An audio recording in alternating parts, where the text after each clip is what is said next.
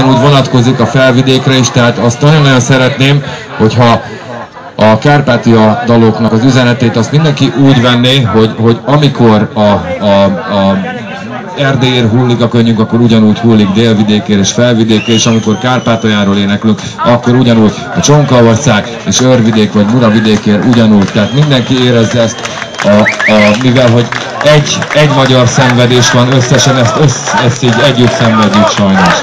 Nem lesz hazája senki másnak!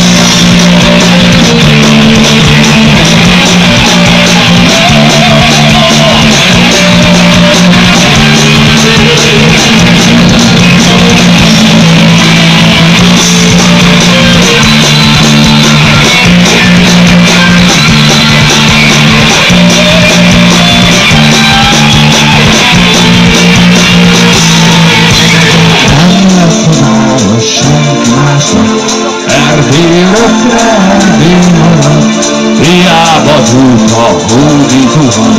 Erdély szabad, és szabad marad, hol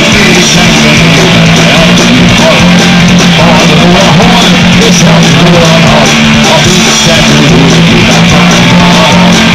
Állnak a erdély, másra marad, erdély szabad, és szabad marad, és szabad.